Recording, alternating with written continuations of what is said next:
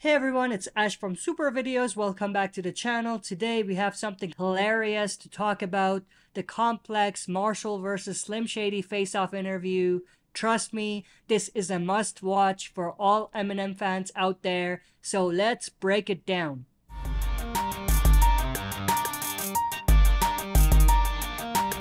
Alright, as always, before we dive into it, smash the like button, subscribe to join our community, and press the bell to be notified when I upload on the channel. With that said, let's dive right into it. First things first, the skit is set somewhere in the Detroit multiverse, which immediately sets a fun and quirky vibe. It feels like we're diving into an alternate universe where anything can happen. The premise Marshall Mathers is going head to head with his notorious alter ego Slim Shady in a therapy style showdown. And get this Slim Shady's appearance and voice were AI generated. While the visuals were a bit off at times, the audio was pretty fantastic. I'm sure that Eminem set the dialogue and then they added the Slim Shady AI touch to it afterwards. So I'm sure that that helped into making the audio feel pretty decent. But overall, it worked pretty well and added to the surreal comedic effect of the skit. Now let's talk about the setup. The skit starts with Marshall and Slim Shady sitting on opposite sides, fitting the face-off theme perfectly. They're in front of curtains from the Encore album cover, which is a cool Easter egg for all you die-hard Eminem fans. It's those little details that make the whole experience even more enjoyable. Shady makes his entrance beside Marshall as if summoned possibly through the portal from the Houdini music video off the Death of Slim Shady album. And in true Slim Shady fashion, he kicks things off by reciting the iconic lyrics, Guess Who's Back, and introducing himself with, Hi, my name is Slim Shady. Guess who's back? What the fuck? Back again. Really? Shady's back. This guy. Tell a friend. You gonna sing the whole song? Guess who's back? Hi! My name is Chicka Chicka Chicka Slim Shady. We know who you are, bro. Bro, cool story. Marshall, not missing a beat, hilariously responds with, Are you gonna sing the whole song? And we know who you are, bro. Classic Eminem humor right there. Eminem definitely showed off his acting chops here because he was really talking to himself, but he made it seem genuine and funny. So it's definitely a good audition tape for Eminem if he's thinking of moving on to acting from here. Bro, cool story. But one of the most standout moments is when Shady's face switches to a Jason Voorhees mask. It's quick, but it's a clever nod to his darker horrorcore style. It's these fleeting clever touches that keep you engaged and laughing. There's also a scene where Shady takes pills, a direct reference to Eminem's addiction in the past, and they suddenly make it seem like the Shady look is wearing off, with a beard appearing on him like the new Eminem, until Shady takes more pills. It's a funny yet poignant visual representation of Eminem's battle with his alter ego and past struggles. The fuck you say? I don't even know what the fuck that means. Using big words around me, motherfucker. I love that particular moment. And then there's the moment where Shady takes a drink of gin and juice. Perfect ad placement for Dre and Snoop's album. And the drink, I think Snoop is selling. Marshall being 16 years sober. By the way, huge congrats on that. It's a big accomplishment. But he mentions his sobriety. And Shady just takes a sip of the drink in his usual I just don't give an F style. It's funny, it's irrelevant, and it's so slim shady. The entire skit feels like a therapy session with Eminem using Slim Shady to voice all the things people have been saying about him. It's like he's dissing himself through Shady, using criticisms from fans and critics. It's reminiscent of his 8 Mile move, where he dissed himself before anyone else could. Speaking of that, there's a moment where Shady mocks Marshall and says, Are you gonna freestyle me to death or battle rap me to death, which I thought was hilarious. I did have a theory that we're gonna get a freestyle or battle type of track in the Death of Slim Shady, where the two of them are battle rapping each other. So I just thought that it was hilarious that they mentioned that given my theory. Anyway, Shady says Dre, Jimmy Iovine, and Paul Rosenberg sent him the bat signal, singing the Flying back,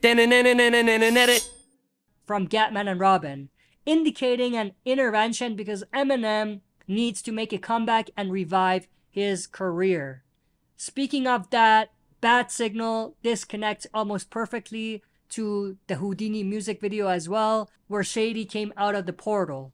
But let's talk a little bit about Shady saying that Eminem needs to revive his career.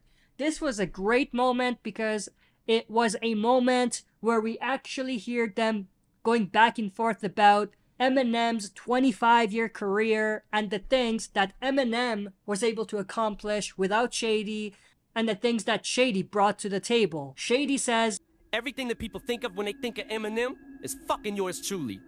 From the blonde hair to the middle finger to the fucking jokes, all of it, me. starting with the blonde hair, the middle finger, the funny lines, and just not giving a damn about anything and really not having any boundaries. Which is true, I'm not gonna lie, but at the same time, like Marshall says, there's lots of things that he's responsible for that Shady had nothing to do with. Like Stan, Love the Way You Lie, Not Afraid, and so on. It is hilarious though that Shady mocks Eminem when he says Stan and Love the Way You Lie by clapping and saying congratulations. You wrote the national anthem for stalkers and domestic abusers. Also, Shady mocks Eminem about his new style not being it. So basically saying your new fast rap style is not it. And saying that he thought that it was AI generated, to which Marshall responds with, How can computers write rap God? So I thought that was a cool moment there as well. But there are also tons of other humorous moments. Shady mocks Eminem about being old, his new content not hitting the mark, like I said, and going after soft rappers. He mentioned Ja Rule, Moby, Fred Durst, and Christina Aguilera. He was just saying that you go after people that don't really have the rapping capabilities to come back at you on the mic. But cleverly, Eminem fires back, pointing out that Shady does the same thing. He goes after pop stars and non rapper celebrities.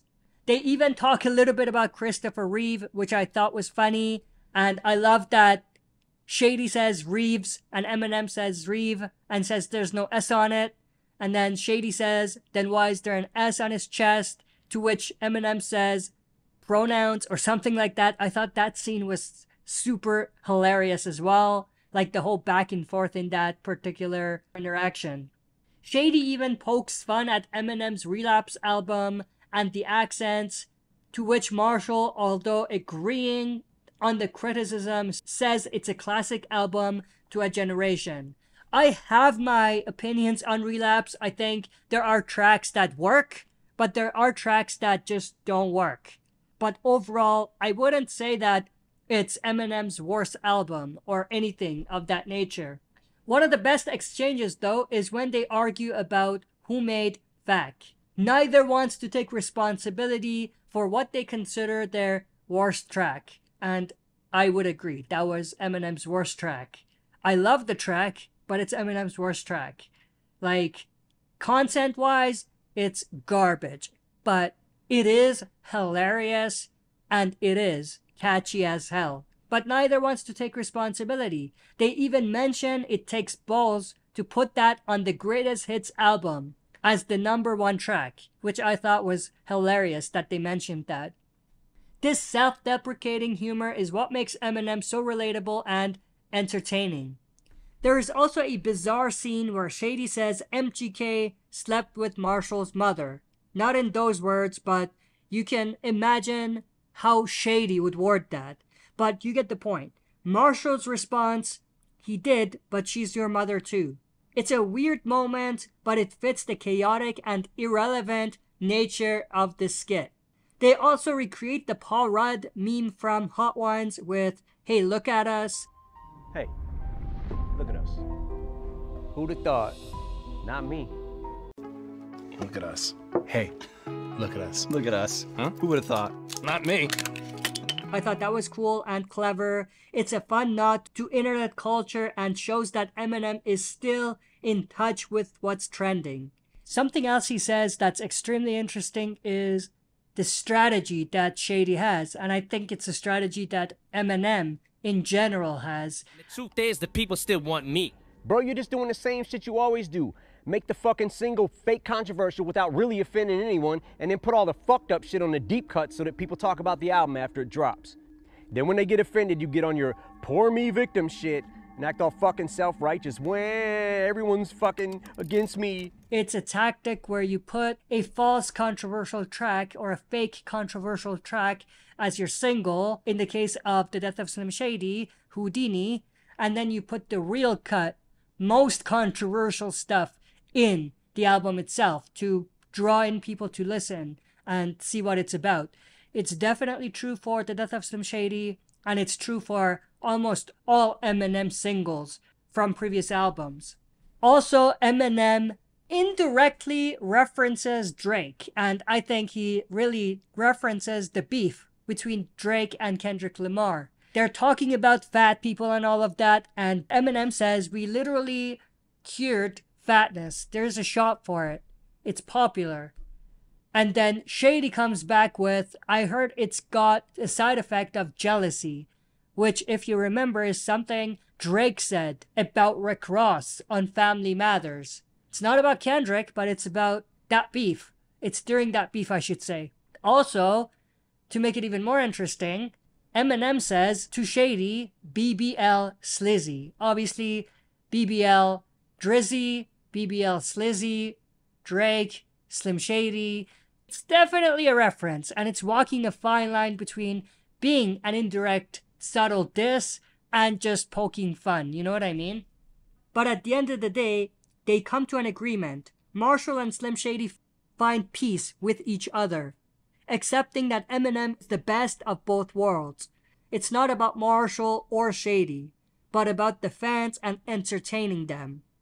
This ties in perfectly with the hybrid concept teased in Houdini. This skit opens the door for side B to the death of Slim Shady, which is super exciting. But maybe instead of the whole side B being either Shady or Marshall, depending on which order you listen to side A, but maybe it'll be a collaboration between Shady and Marshall instead of a battle like side A was. Before we continue, let me plug my merch store here real quick. We've just launched brand new merch in our store. If you love the breakdowns and discussions we have here, you're going to love these designs. We've got You're About to Enter the Breakdown Zone, perfect for all you hardcore fans, Breakdown Playground, for those who enjoy diving deep into our content, and Listen, Think, Repeat, to keep you inspired. So head over to Super Videos Entertainment Store, check out the new swag, and show your support. The link is in the description. And can we talk about photos released by Complex? They show Eminem with an actor stand-in for Shady, which is then generated into Shady himself using AI. The photo shoot is filled with Easter eggs like the car paying homage to the Slim Shady LP album cover, and even the curtains, like I said, paying homage to Encore. But it's basically Shady kidnapping Marshall. This could actually somehow connect to the music video for Guilty Conscience 2, if there is a music video, which I hope there is.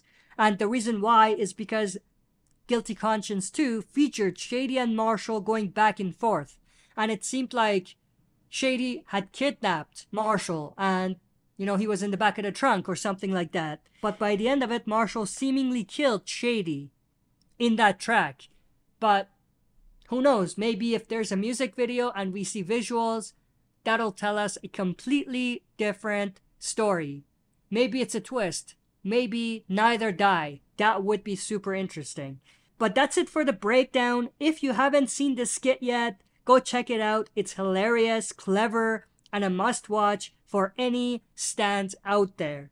Don't forget to like, subscribe, and hit that notification bell for more breakdowns and discussions. That's it for this video. See you next time for another super video.